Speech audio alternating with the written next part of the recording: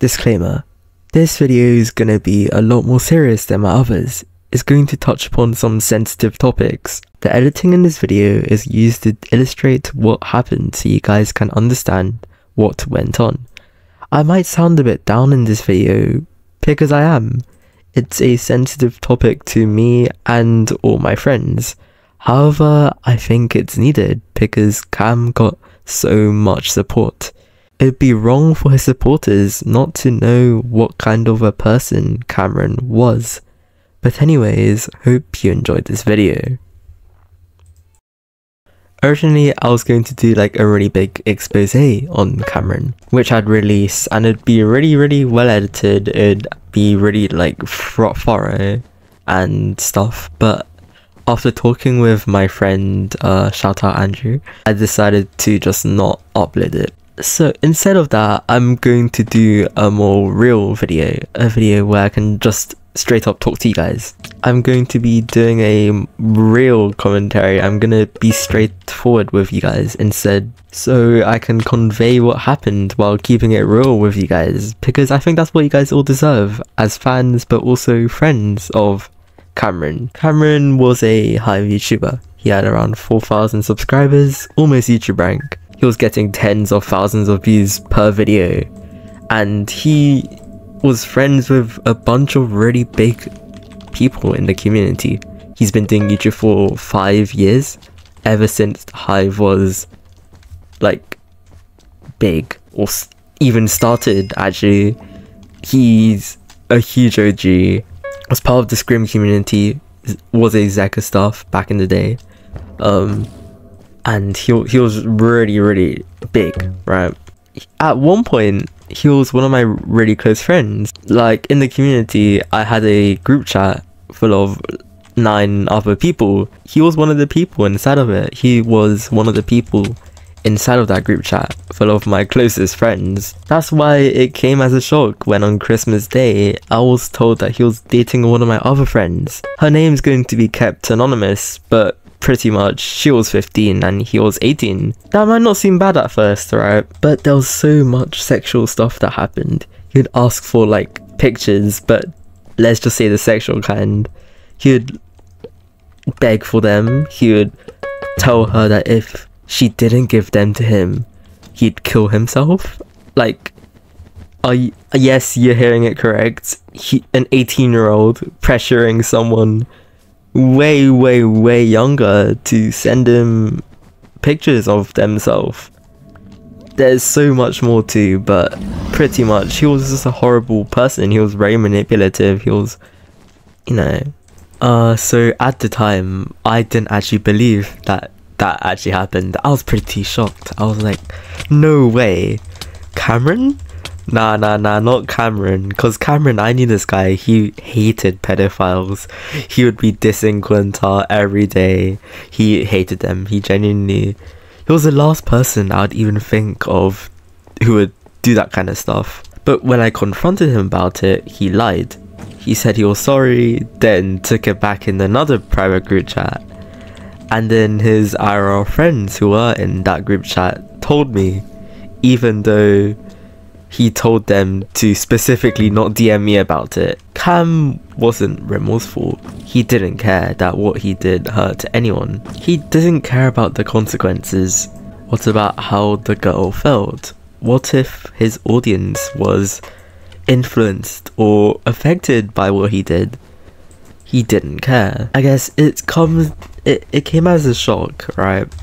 Uh because Cameron was one of the main people that I'd look for for advice. He'd be like a brother. He was very, he was very smart. He was a very smart person, and at least when I talked to him, he seemed very wise almost. He was really good for advice. If I ever needed advice, I'd just DM him like, "Yo, can you help me with this? Whatever." But not just YouTube advice, like just advice on being a good person. I remember Cam was the person who told me how to bounce back when I got my YouTube rank removed, right? Cam was the person who told me that as a YouTuber, I can't be acting a certain way because I have an audience that can get influenced by it. I have an audience that can get influenced by the stuff that I say and the stuff that I do.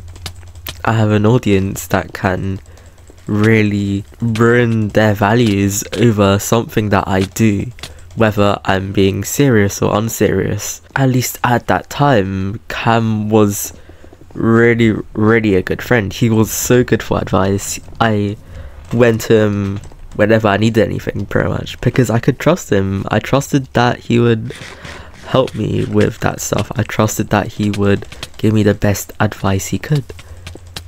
I think that's why it hurts the most, because it's Cameron. Cameron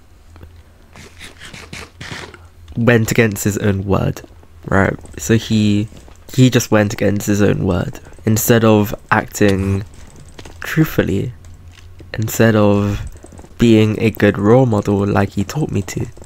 He ended up grooming one of his close friends who was significantly younger than him. It just sucks. It really sucks because um I was so close to this guy. Like I was super close to this guy. I um he was like family. Yeah. Cam had ADHD, so I um I empathized with him a lot, right? He was someone who taught me that even with all of the disadvantages the world gives you, you can still be really talented. You can still do really well on YouTube. You can still make good content. He was the person who taught me to stop caring as much about my YouTube stats, about how to make decent content which isn't all like following the meta. He taught me how to do so many things and just ended up being a pedo. It, it, it, it fucking sucks. It genuinely sucks. Um, it sucks even more because I was a fan of this guy. I watched this content when I was like 11, 12 during quarantine. I'd watch Cameron's videos. Then I became friends with him. He was pretty cool. And then he got, I was told that like he was doing horrible stuff to one of my really close friends, right? I don't know.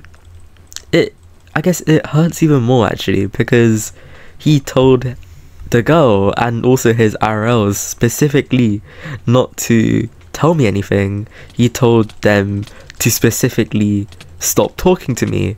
And this was during when me and him were pretty close too. Like it really sucks. It it just sucks because it's more than just a YouTuber getting exposed. It's a friend betraying me and my trust and going behind my back to for what? For what? Getting some pictures from a underage girl? Okay, okay, okay. Like I'm I'm sure he could have pulled somebody his own age. It's it's it's dumb. It's stupid. Uh I guess it even it sucks even more because this guy had so many friends, so so so so so many friends, and throughout these few months, because I was a person who like made all this public, I've had I think 30, 40 close friends of Cameron DM me like, "Hey, I really appreciate you for exposing him because that's not who Cam is.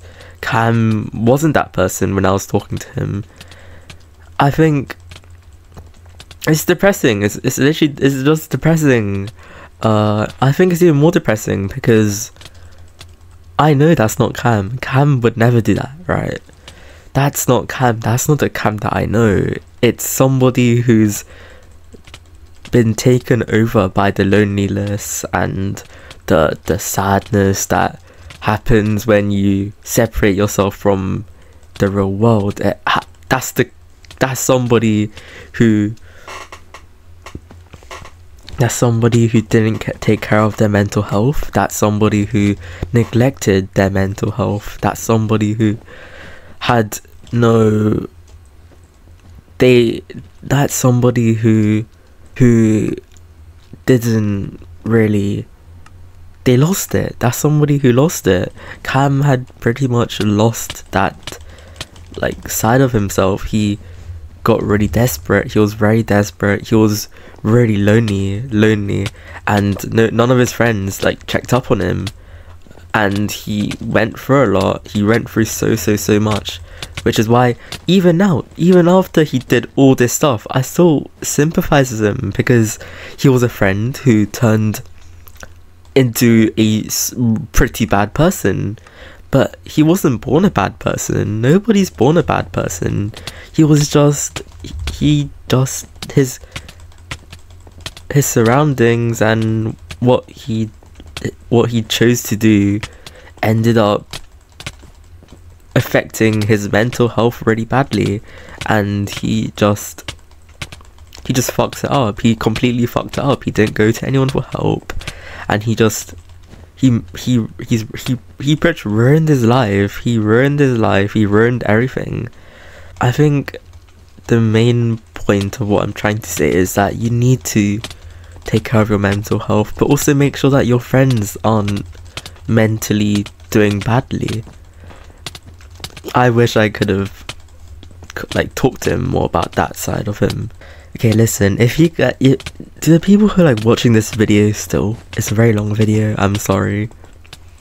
Please just make sure to check up on your friends. That's like the one thing that I'm asking for. Because I doubt that if I didn't neglect his feelings, he would have done the things that he did. I doubt that if he had someone to take care of him, he wouldn't have done the stuff that he's done.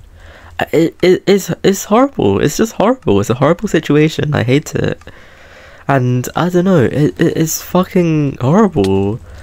Um, when the girl told me about what happened, she was like crying. She was fucking crying in her voice memos and stuff. She was crying and uh, I'm a very like emotional person. I get affected when people are emotional.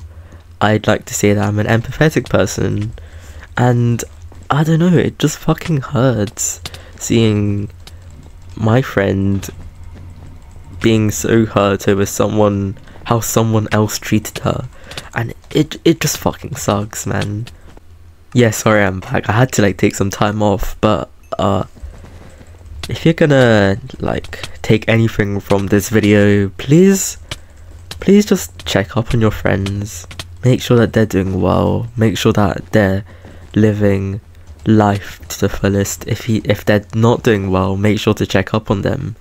Make sure that they're doing all fine. Make sure that even if they might seem happy like make sure that they are truly happy because people hide their feelings so so well. It's like creepy. It's freaky. It's so freaky.